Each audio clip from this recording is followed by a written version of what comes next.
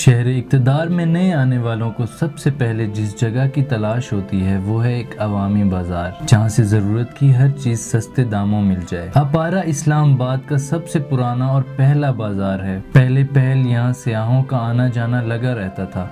मगर हुकूमत की लापरवाही के बायस और जगह जगह गंदगी होने की वजह से स्याह आना छोड़ गए। अब पारा का लफ्ज सुनते ही ख्याल आता है कि ये भला बाज़ार का नाम कैसे हो सकता है? आब यानी पानी और पारा मतलब टुकड़ा या हिस्सा। जहन बहुत टामक टोइया मारता है और फिर ये सोचकर किसी और ख्याल में गुम हो जाता है कि हो सकता है किसी जमाने में यहाँ पानी का कोई चश्मा हो। लेकिन ऐसा नहीं है।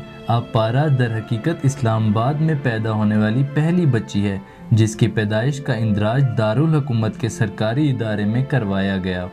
अब आप सोच रहे होंगे कि आप पारा का नाम कैसे पड़ा किस्सा कुछ यूँ है कि 1960 की दहाई में पाकिस्तान के इस वक्त के फौजी सरबराह जनरल अयूब खान ने जब रावलपिंडी के करीब नया दारुल हुकूमत इस्लामाबाद बनाने का फैसला किया तो कराची से सरकारी मुलाजमीन को यहाँ आबाद किया, जिसके लिए सेक्टर जी सिक्स में सरकारी मकानात तामीर किए गए। इन सरकारी मकानात के साथ लोगों की सहूलत के लिए मार्केट भी तामीर की गई। इस्लामाबाद जब अयूब खान के दौर में कैपिटल बनाने का ऐलान किया गया था और उसके बाद या उससे पहले यहाँ पर जो मुख्तलिफ़ अस्सी के करीब जो बस्तियाँ थी इस्लामाबाद की, वो यहाँ पर आबाद थी जिसमें शक्करपड़ियाँ और दीगर जो इलाके हैं और वहाँ के तारीखी मकाम भी उसमें हैं। मुख्तलिफ़ जो तहजीब है, ख़ासकर गंधारा या बुद्धमत कुल है, अभी भी आप शाह दिता जाते हैं तो वहाँ आपको उसके आसार नज़र आते हैं और यहाँ इस्लामाबाद में भी।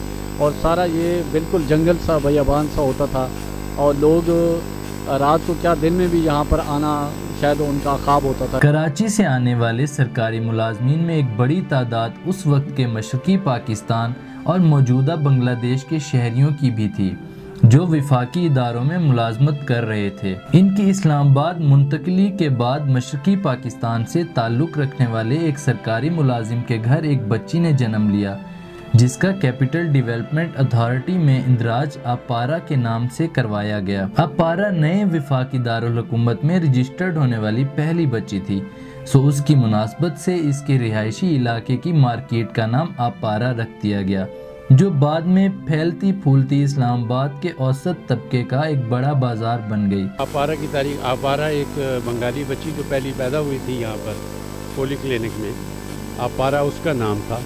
उसके नाम पर फिर इस जगह का नाम अपारा रखा गया था। ये है इसकी ख़ास वजह है तस्वीर। और बहुत से ममालिक में रह चुका हूँ बीसियों ममालिक फिर चुका हूँ। लेकिन मुझे अपने मुल्क से ज़्यादा कोई खूबसूरत मुल्क नज़र नहीं आया। लेकिन जब इस्लामाबाद में अपारा में आते हैं तो ऐसे लगता है कि हम किसी कच्ची बस्ती में आ गए।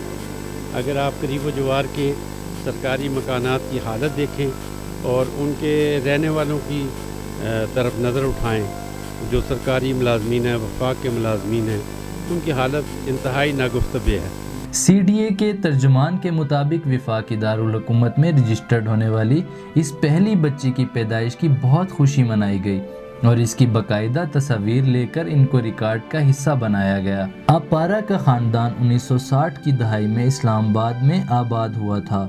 लेकिन बांग्लादेश के क़याम के बाद वो मशरकी पाकिस्तान के बहुत से दूसरे शहरियों की तरह अपने नए मुल्क चले गए। अब पारा के बारे में किसी को मालूम नहीं कि वो अब ज़िंदा भी है या नहीं।